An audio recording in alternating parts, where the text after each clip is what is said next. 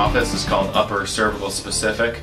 And what that means is we focus on the top two vertebrae in the neck. The top vertebra is called the atlas. The second vertebra is called the axis. And those two vertebrae house the brain stem. Um, so the brain stem and the brain is basically what controls all function in the body.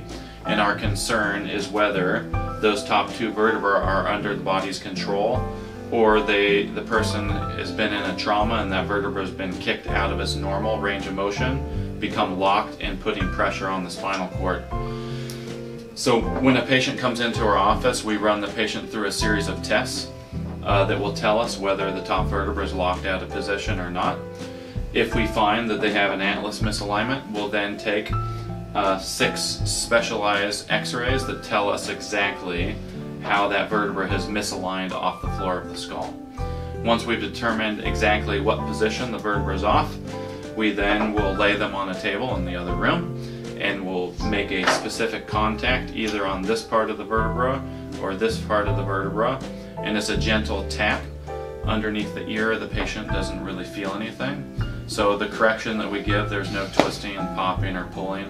It's a gentle correction to slide the vertebra back under the body's control and once the vertebra that's been locked under the head from the trauma they were in is back where it belongs, then the interference to the central nervous system has been removed, and then the body will go through a healing process.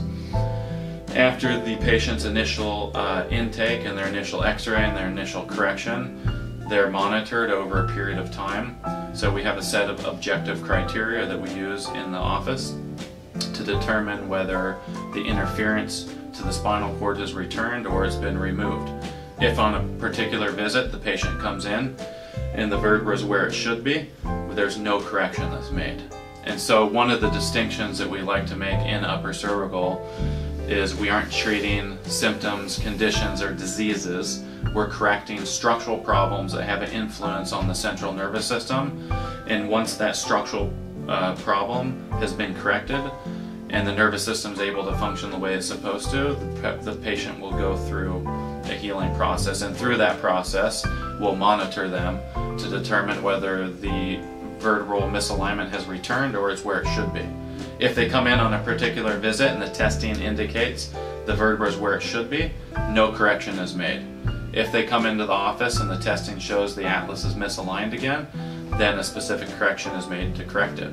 And so they're monitored through time.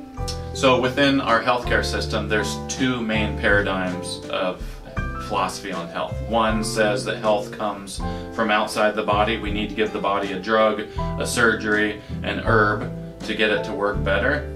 And then the second paradigm is what we call inside out. And what that means is everything someone needs to be healthy generally is already inside their body. So the, the cause of ill health must be an internal thing also. So the objective of upper cervical care isn't to treat the symptom from the outside in, is to remove an interference that exists inside the body, an interference to the nervous system, get it clear so the body's own recuperative innate powers from the inside out can go through recovery process.